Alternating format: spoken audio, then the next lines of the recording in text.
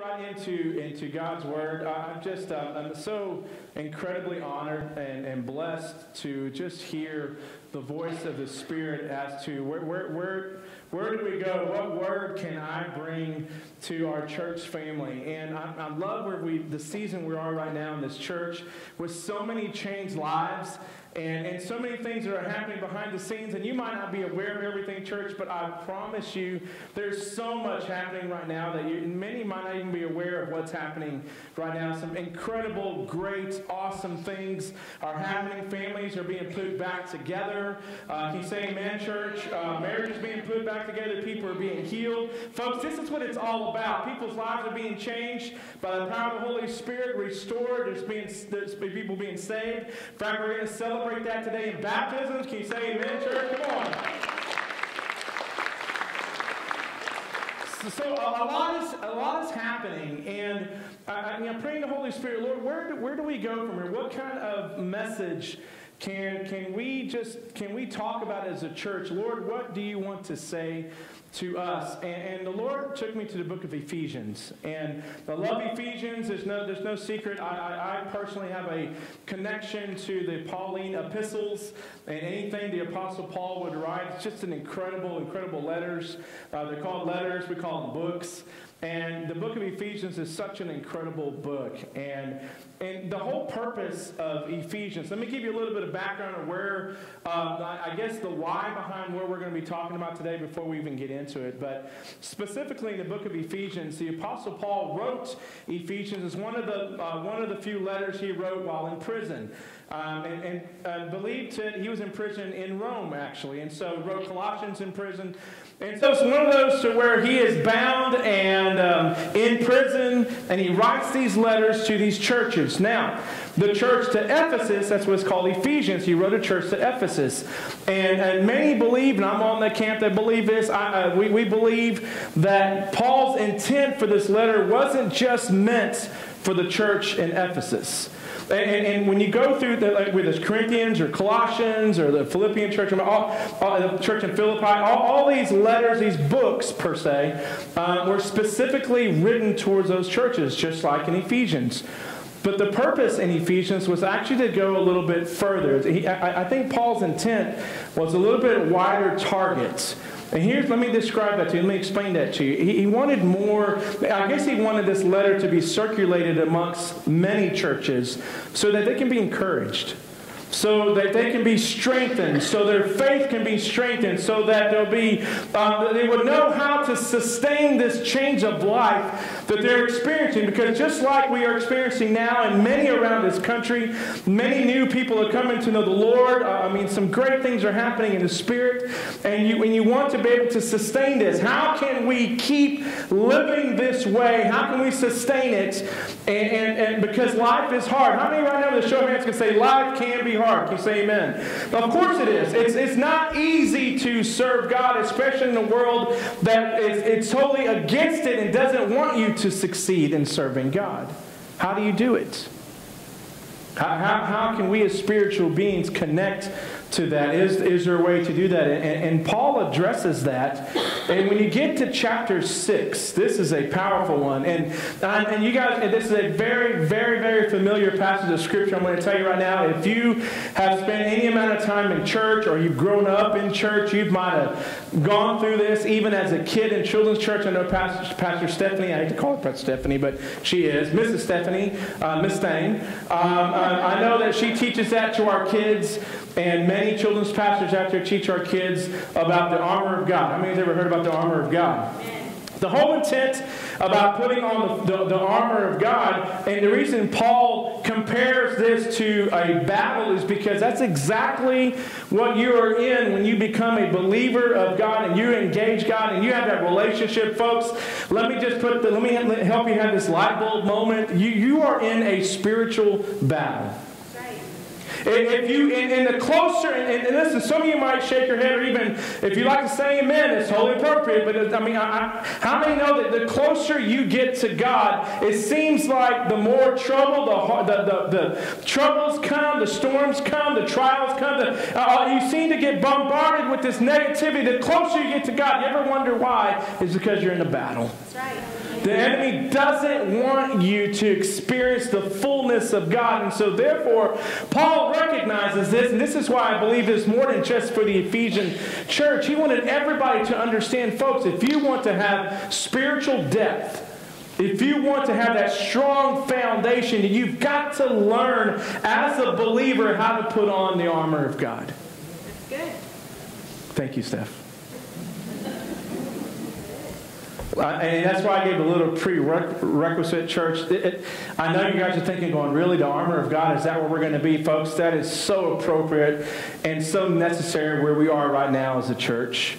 Because I know as a pastor, I want nothing more than to sustain the life change that's happening for the, for the families and marriages being put back together. I'm telling you, it's only going to get harder the second time around to keep it together.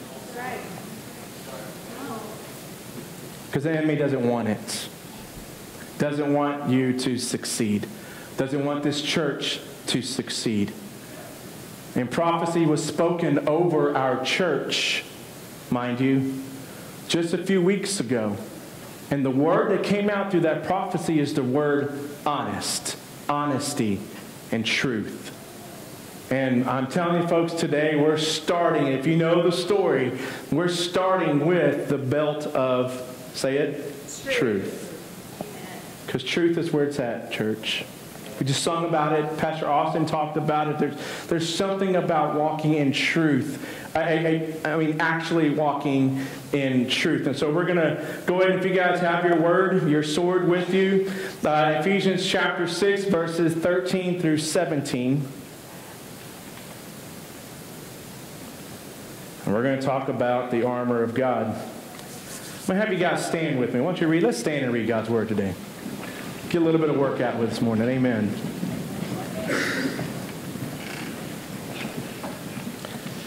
Ephesians 6, 13 through 17, and it reads, Therefore, put on the full armor of God. Did it say half? Did it say to put on your own armor? Just, did, did, did it say put on the armor? No, it actually says put on the full armor of who? God. Folks, that is so key. I had to stop right there and say that is the key. If you've ever tried to put on your full armor, folks, I'm, telling you, if you've ever coached football, especially with little kids, it's the funniest thing in the world. For one thing, they look like bobbleheads. and they don't know really how to put on their equipment right. I, I've done it. I've coached it. And I have to literally coach these kids in how to put on their equipment correctly so they don't experience what we call these days a concussion.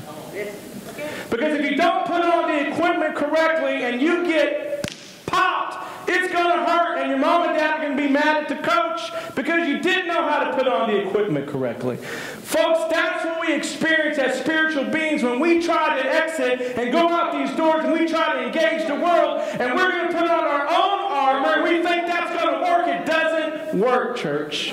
This might be a little children church lesson to some of you, but I'm telling you, that's the reason why so many of us are failing. We seem like we're spinning our wheels. And yes, I'm excited this morning because I'm folks, it's all about putting on the full armor of God. Now, can you say amen? amen. Woo, that's just reading the scripture. I didn't start preaching yet. So, therefore, put on the full armor of God so that when the day of evil comes, you may be able to stand your ground. And after you have done everything to stand, stand firm then with the belt of truth. I got mine on today. I have to, these pants won't stay on. And everybody says, Amen. Stand firm then with the belt of truth buckled around your waist, with the breastplate of righteousness in place, and with your feet fitted with the readiness that comes from the gospel of what? peace. Verse 16, in addition to all this, take up the shield of faith with which you can extinguish all the flaming arrows of the evil one. Take the helmet of salvation and the sword of what? The Spirit, which is what? The Word of God. Whew. Man, that's awesome. Let's pray. Father in heaven, thank you. thank you for this moment we have together, Lord. I pray that your power will be made manifest through the preaching of your word, not because of your messenger, Lord. It has nothing to do with me, it's everything to do with the message. Your word is powerful quicker, sharper than a two-edged sword. And I pray that this sword today would pierce our hearts and change us from the inside out. We want to leave this place changed, different than how we came, God. Ready for battle, dressed for battle. We ask all this in your name, and everybody says, Amen. Amen. Would you guys give a, a congratulatory high five to somebody there next to you before you're seated? There you go.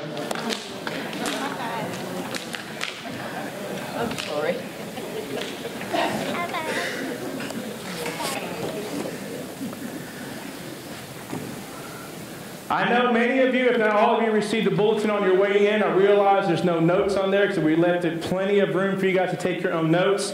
And if you're one of those who kind of like titles, if there's if there's a title to this series at all, we're going to call it "Dress for Battle." And today we're going to be talking about truth holds up more than your pants. Okay. Come on, that, that, that's, that's where doing. Truth holds up more than your pants. Can you say amen? amen? There's so much more to truth, folks, than just what it does. It, there's so much to it. Dress for battle. Let me talk about a couple of truth, truth observations, okay?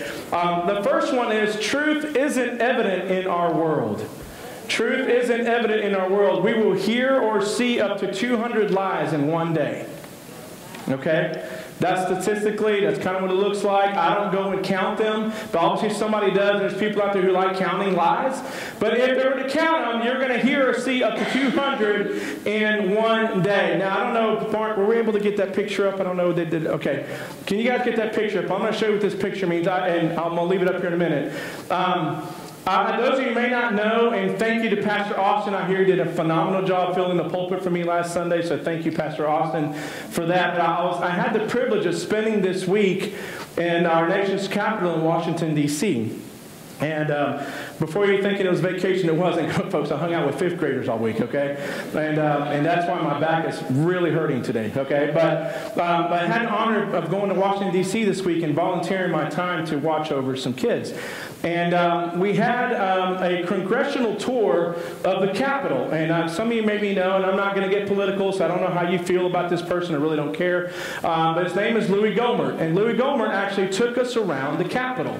And he himself did, which I was very impressed because I've taken a congressional tour before, and it, and, um, and it was by a staffer. We, this was actually led by Congressman Louis Gohmert. And uh, the only problem with that is they last about four hours. Um, but this was uh, actually the last stop we had. Now, unfortunately, please don't take a picture of this because I wasn't supposed to take a picture of this. I didn't read the sign. Um, but I was one of those that had my phone out. I was taking a picture, and then the staffer behind me got a little upset. She just, can you please put your phone up? And I didn't see the sign behind me, and I kind of act like I can only speak Spanish. Uh, uh, but, uh, that doesn't work because I recorded. Um, and so I said, no, I'm sorry, I'm so sorry. I put my phone up, okay? But I was able to, I had the wherewithal to snap this picture. Now, you can't blow it up, but if you have your phone, you can kind of blow it up and you can see exactly what's there. Now, I'm going to show you that for a reason because I spent my time in, in a town or a city that spins perception to be your reality. I'm just saying, that's not a political statement. That's just, it is what it is. If you don't believe me, do your own research. But they spin perception to be your reality to where you think that's the truth, but it's not. Now, I'm showing you this because I, I know we've read about this, and man, I, I look at Scott's, I know he teaches history. I know you and I love and eat up history. I know that uh, several of our presidents and even the writers and the signers of the Declaration of Independence, many were believers, so I know they were praying people, but you really never hear about presidents praying. You really don't. And that's by design because the media doesn't want you to know that, that our presidents actually pray. Okay? If you can't really see it, but that is a uh, stained glass window that was uh, preserved and taken from another building, and that's a little chapel. Off, it's a little bitty room, uh, and you don't even really notice it if you go into the Capitol. You don't even see this little room that's off to the side. And for one thing, it's supposed to be for members only, but Louis Gohmert took us in. And this is off to the side, right before we get to this to the um, speaker's hallway, is what they call Speaker of the House, Paul Ryan. In fact, it was right down the right down the hallway from us. And, um, and, and this little chapel, uh, and, and, Louis mentioned that many of the congressmen hold Bible studies in there, but right in there in the middle of that window is George Washington. What is he doing? He's actually kneeling down to pray. I've never seen a picture of a president doing that right there. Never have. And I, I venture to say probably many of you have never seen this room. I've never seen it. I've taken, we've taken congressional tour um, before, and we've never even knew this room existed. And so I was able to snap that picture. But on the top, right above the head of George Washington, it says, This nation under God. Underneath his feet right there is, is actually this, there's scripture verses, right, that surrounds George Washington, and the scripture specifically is Psalms 16.1. You can look that up later to see what it says, but Psalms 16.1, and it really, it does say, this nation under God. Folks, I'm telling you, if we're going to survive and, as a nation, it's going to take the Word of God. It's going to take God. But I, I had to show you that because that's, that's kind of what we are in is you won't hear the truth very often, folks. You're going to hear a perception of what the truth is, but you're never going to hear the truth very often. You can put that picture down. But I just I had to show you that because that just jumped out to me huge and how it ties into truth. The other observation I have about truth is truth isn't expressed in our spiritual lives. That's a problem, folks. We have to express truth in our lives every day if we're going to be world changers. We talked about telling our story and what does our story mean, and we've spent many weeks about that. I'm hearing testimonies coming in all the time and how many of you guys have had opportunities and seized your opportunities in telling your story. And I'm so proud you. Keep doing it, folks. But that's how you express your truth every day. If the truth is in you and you're walking in that truth daily, folks, that's what we have to be. If you're a spiritual being, most of us are, we have to express the truth in our lives every day. Are you guys with me? Say amen. amen. So those are just a couple of observations. Let me talk a little bit about truth builders. So what can truth do for us? Let me tell you a little bit about what it can do. Truth builds character. Can you say amen? Those of you taking notes, you can jot some of this stuff down, but truth builds character. John 3:21 says, "But whoever lives by the truth comes into the light." Isn't that powerful? Whoever lives by the truth comes into the light so that it may be seen plainly that what they have done has been done in the sight of God. What is that saying? That folks we have to live our truth in uh, our life in the truth so that we are everything we do is exposed in the light. Uh, we, we heard this testimony. Now say it again a prophecy about truth. Folks if we're going to move on as a church and experience the explosion of fire that god wants to just literally rain down on this church folks we have to live a life of honesty and truth. You guys with me there yeah, that's not, that's not popular preaching because that means we have to live a life in pursuit of righteousness, and that's, that takes work. That takes sacrifice because I might have to let go of something that's not pleasing to God. It's, it's, it's letting go of that secret sin. And we'll get to that a little bit later again. But that's what that means. We, we, we have to live our, our life in the light. We, we can't engage in stuff that's done in darkness. You guys with me? Say amen. amen. Reputation is what people say about you. Character is what I call is who you are in the dark. Guys with me today? So truth builds character. Truth builds spiritual depth. Truth builds spiritual depth. Ephesians 4:15, going back into the book of Ephesians, Paul says, "Instead, we will hold to the truth in love." And I love the way this is worded, becoming more and more. Not just once, but becoming more and more like Christ. Every way like Christ, who is the head of, this, of his body, the church. I want to read that again. Instead, we will hold to the truth in love, becoming more and more in every way like Christ, who is the head of his body, the church. What is that saying to us today tr- as far as in relative to truth? Is the more time you spend with Christ, the more you become like him and you live your life in the light of truth. You guys with me here this morning? This is why it's important that we come to church and we get engaged in worship and we get engaged in the message and we spend as much time in our personal prayer time, our personal uh, reading time. If you're not in God's Word, get in it. We'll get to that a little bit later. But folks, this is important that we experience growth because that's how you grow is when you spend time with the one who created you. You're going to imitate that which you spend the most time with. Can I, can I just throw that out there? Where do you spend your time? If you spend your time, most of your time, and this is on you, don't get mad at Pastor Eric, but most of your time is spent on the book of faces, that's what I call social media, then you'll begin to look like a social media mess. Am I against Facebook? No, that's not what I'm saying. But I am against it if it takes up more of your time than spending time with your Creator. That's a problem. Whew, man, I'm telling you, I'm just getting shouted down. This preaching's good.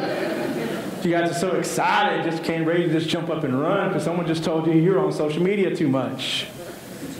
But we, we become and we start imitating what we spend our most time in.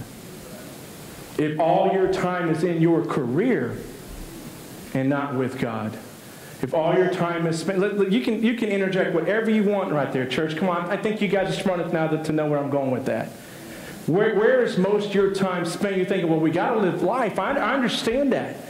But the Word of God also tells us to pray without ceasing. That's a lifestyle.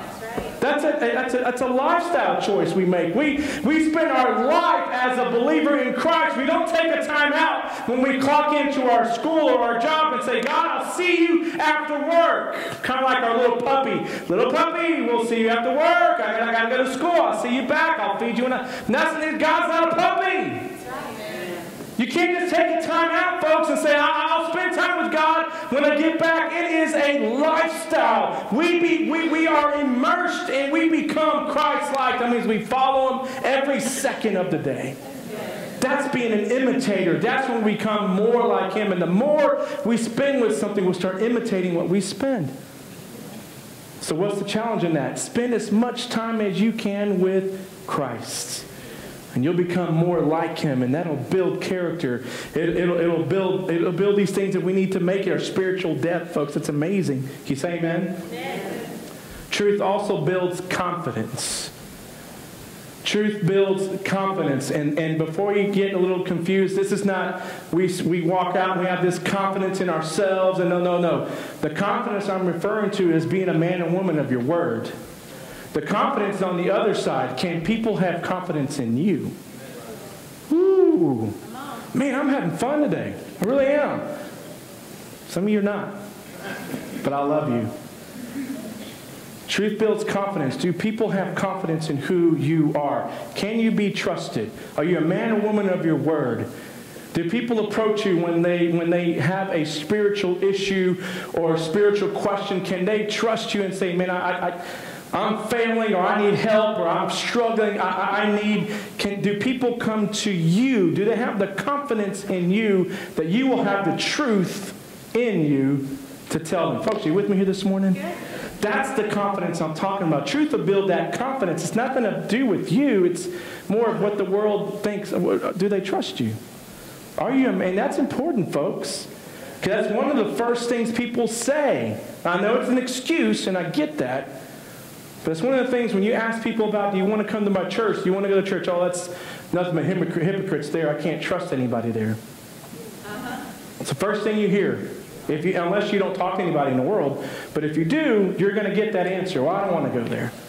And it, has, it has nothing to do with Longview First Assembly. It's every church. I don't want to go. I don't want to go to church, period. It's a bunch of hypocrites. And, you know, sometimes I can almost see what they're saying.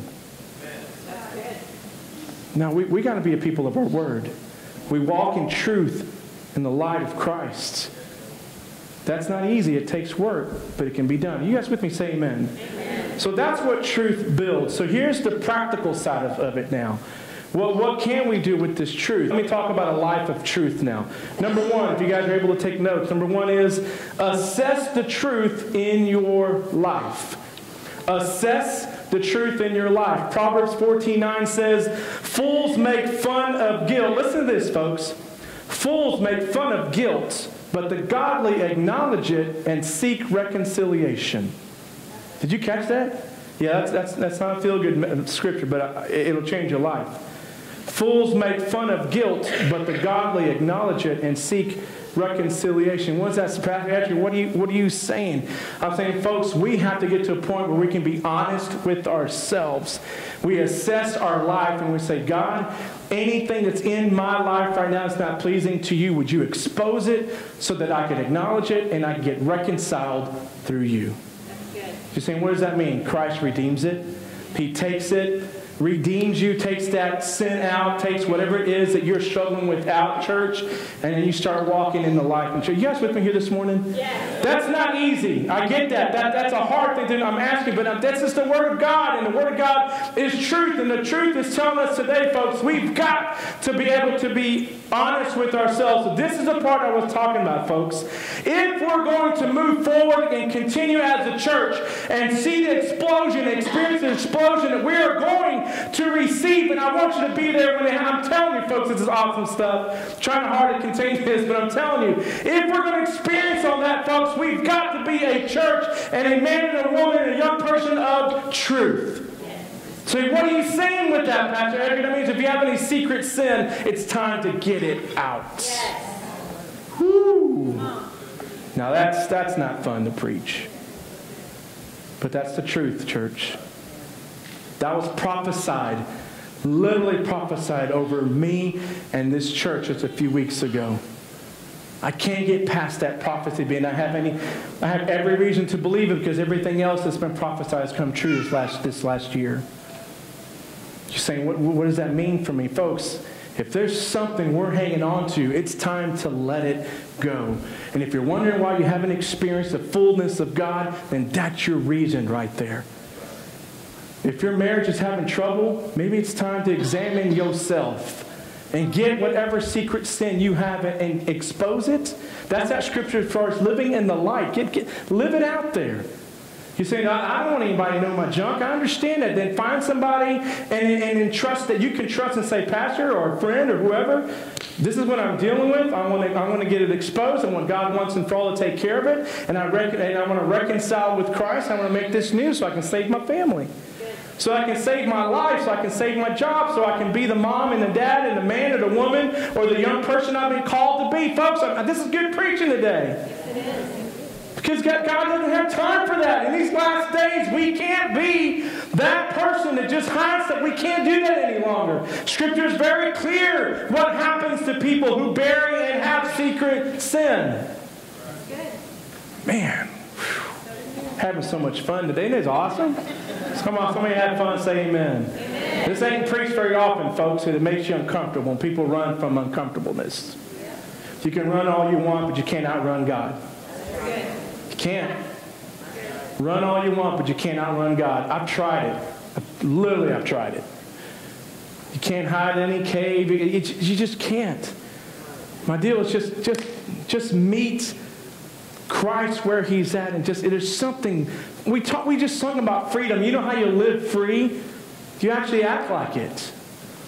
We can't, we can't try, we can't, it's, it's really hard, Mark. This is, I believe this is some of the reasons. It's hard for us to live and sing about freedom when we're, we're, we're back over here being bound by something we can't let go of.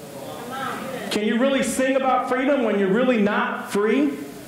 I'm just throwing that out there, folks. Maybe, maybe, I don't really apologize. I was going to say I'm sorry, but I'm not. I'm just practicing what, what God's told me to do. And that upset you this morning. I, I love you. I'm not going to say I'm sorry. But I was sitting there watching Mark's word. I'm going, I really know the, I know the answer to that. It's hard to think about something you're not connected to because you're not free. How do you become free? You get, you, you're free. You act like it. You, you get that secret sin out. You get that junk out and start living like you're a child of the one true King. Woo! Man, that's good stuff. And that's what changes the world. They've heard it all. Folks, come on, we're in Texas specifically East Texas. They've heard it all. Believe it or not, they've heard it all. They're ready to see it. They want to see it. They want to see Edgar. Has nothing. In fact, I don't even give people my title. They want to know that I'm a man of my word. That I'm true to my wife. That I'm true to my kids. That I'm true to my church. That I'm true to, to the leaders in which I'm, I'm subject. That, but, that's what it's all about. And that's what changes the world. Church, are you with me here today? Listen, this pastor loves you very much. This is why I'm willing to preach this. I said yes to God when He says, You need to bring it today. I am. Because this is what's going to change the world, folks. Are you with me? Say amen. amen. Get it out, folks. Number two, once that's out and you assess the truth in your life and start walking in that truth daily. Number two, walk in that truth daily. Psalms 51 6 says, But you desire honesty from the heart, so you can teach me to be wise in my inmost being. Did you, did, don't you love that? But you desire honesty from the heart, so you can teach me, O God, to be wise in my inmost being. Folks, that's you have to have this mindset that we're going to walk in that truth every day. And that takes a conscious effort. You guys with me say amen? You, you, you have to sit out every morning. This is where Paul, even Paul's when it tells us, I have to crucify myself. I have to crucify flesh. How many here with Easter? You guys, you remember Easter? I talked about cutting off the old man. I, I shared a powerful illustration. That's what that means right there. You literally have to go to the cross daily. Shed that old man that's, that's hanging on you like an old dead body that's starting to make you rot. You cut that off so that you can live free. And then you walk in that truth and people can see it, folks. You don't even have to say anything. And people know when you live in that truth. Are you with me here this morning? Man, I, I, testimony after testimony, including I have a few testimonies that I've had this week of how I've got to share my story. I know in the middle of Washington, D.C., and I got to share my story of Jesus. Folks, I'm telling you, when you're walking in the truth, those questions will come, and you'll get a chance to talk about your Creator and bring glory to God because of it. You with me this morning?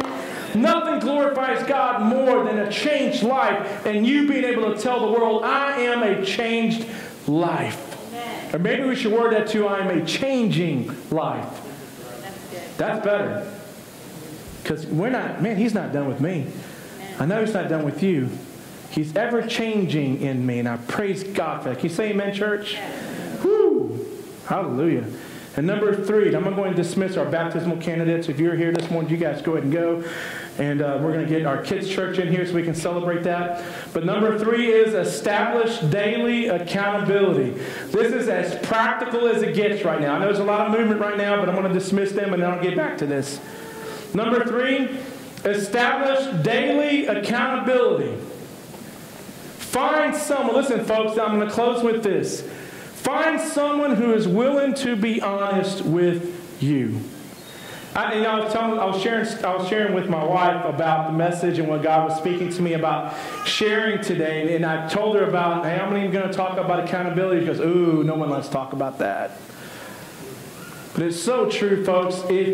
And this is this is scriptural. It, it, it really does help. Find somebody you can trust to be accountable to. You guys with me here? Say amen.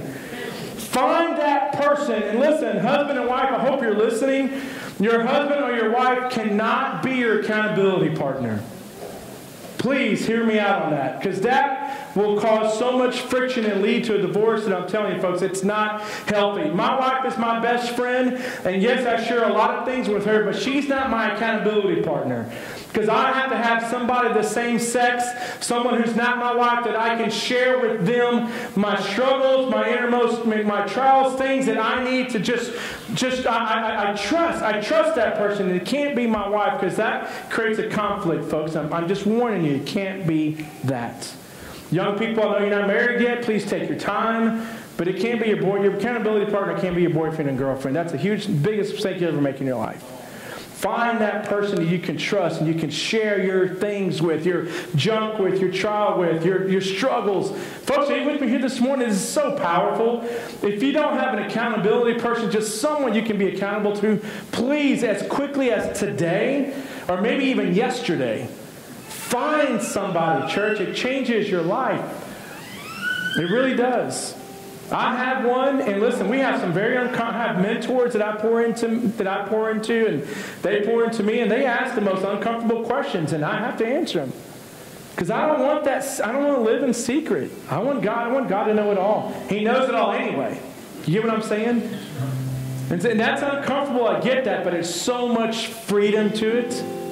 Those of you out there right now, you know exactly what I'm talking about. If you've ever and maybe you are right now, and I, this is today's the day you can solve this.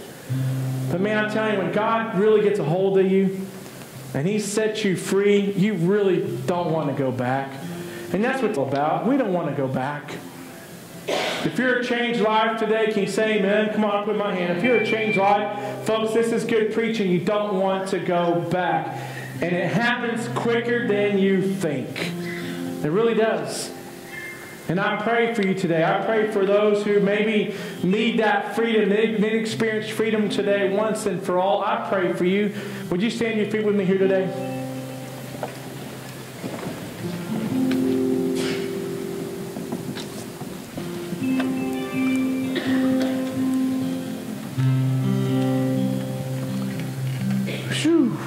Hallelujah.